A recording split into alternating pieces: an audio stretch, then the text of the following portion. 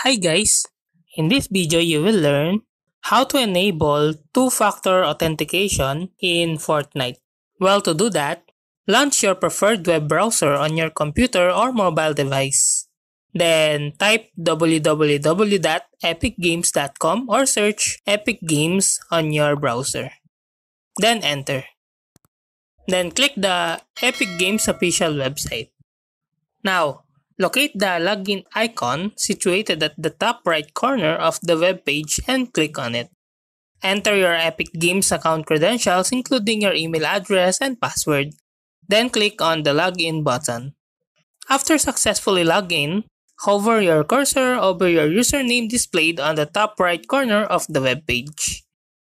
In the drop-down menu that appears, click on the account option to access your account settings. Look for the password and security tab in the account settings menu and click on it. Scroll down the page until you find the section related to two-factor authentication. Within the two-factor authentication section, you will be encountered three options. Third-party authenticator app, SMS authentication, and email authentication.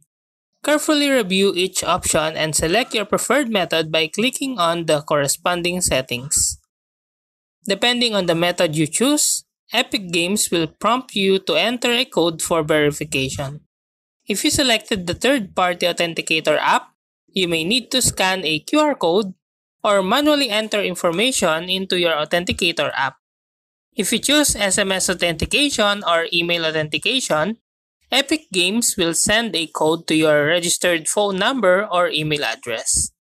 Enter this code in the provided field on the website. Follow any additional on-screen instructions to complete the setup process for two-factor authentication on your Epic Games account.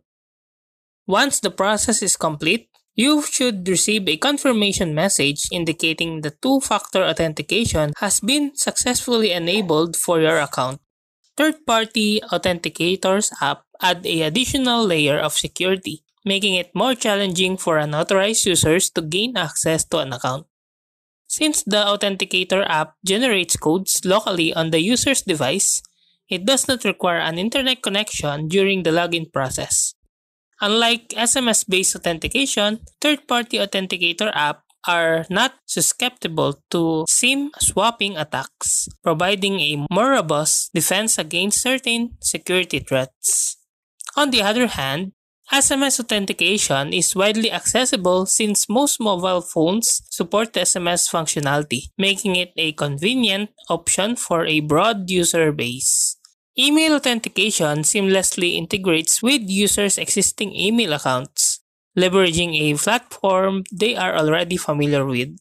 Using email authentication reinforces the verification of the user's identity. And that's how to enable two-factor authentication in Fortnite. If you like this video, please click the like and subscribe and ring the bell icon to notify you to our next video. Thank you for watching.